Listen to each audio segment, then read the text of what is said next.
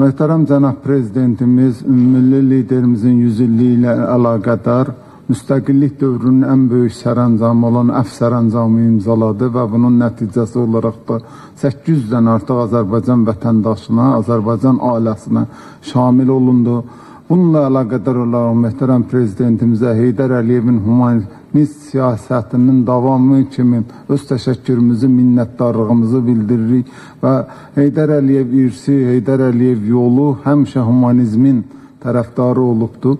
Əfsuslar olsun ki, bəziləri, bəzi partiyalar, bəzi təşkilatlar və yaxud da ki, xaricdə oturan bəzi blogerlər bu əfvin üstünə hansısa kölgə salmağa can atır. AXCP müsavat və yaxud da Milli Şuranın bir 3-4 toyuq oğrusunun azadlığa düşməməsi bu insanları narahat edir və tərəzinin gözünə bu tərəfdə Azərbaycan xalqını təmsil edən bu qədər insan bir tərəfdə qalıb, özlərinin bir neçə nəfər bu cür insanları ilə əlaqədar əf sərəncamı düzgün deyil adı altında başlayıb ictimaiyyətə yalan olan məlumatlar verməyə çalışırlar. Azərbaycanda fəaliyyət göstərən hüquq müdafiə təşkilatları 30 ildən artıq ə, e, fəaliyyət göstərən, 10 illərlə bu işlə məşğul olan insanlar bunu alqışlayırlar.